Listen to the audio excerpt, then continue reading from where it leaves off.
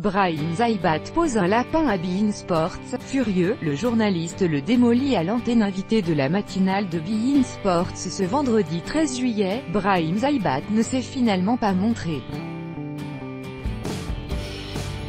Un comportement que n'a pas du tout apprécié l'animateur de l'émission Thomas Vilches, qui a laissé éclater sa colère. Brahim Zaibat se souviendra sans doute longtemps de cette émission manquée.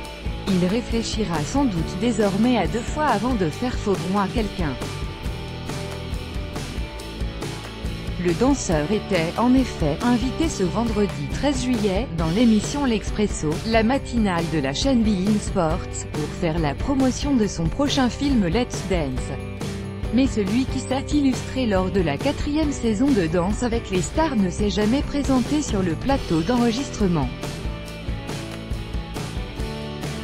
Brahim Zaibat victime d'une tentative de cambriolage, le danseur fait fuir les voleurs en hurlant très remonté d'avoir ainsi été planté par le danseur et chorégraphe, le journaliste Thomas Vilches a laissé éclater sa colère en direct. Si tu nous regardes, bah non, tu ne nous regardes pas, parce que tu es en train de dormir. Tu devais venir pour la promotion de ton film que personne ne doit aller voir, personne ne doit aller voir le film avec Brahim Zaibat. Il y a des choses qui ne se font pas, comme planter une émission alors qu'on est invité.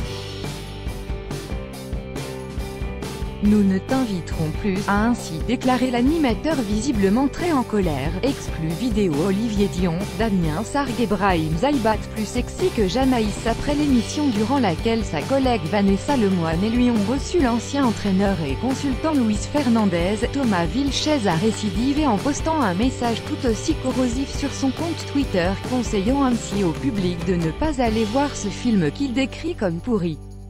Un grand merci à Brahim Zaibat de nous avoir planté sans prévenir ce matin et d'avoir fait le mort quand on a tenté de l'appeler 150 fois. Grande classe, n'allez pas voir son film. De toute façon, ça avait l'air pourri. Un grand merci à Bezaibat de nous avoir planté sans prévenir ce matin et d'avoir fait le mort quand on a tenté de l'appeler 150 fois. Grande classe, n'allez pas voir son film. De toute façon ça avait l'air pourri. Allez bisous bisous, Thomas Ferro Villechez, arrobase, Tom Villechez, July 13, 2018 Chaque jour soyez le premier à recevoir l'actualité gala dans votre boîte mail Recevoir veuillez saisir un email valide. Vous devez accepter les conditions générales d'utilisation du site Brahim Zaibat.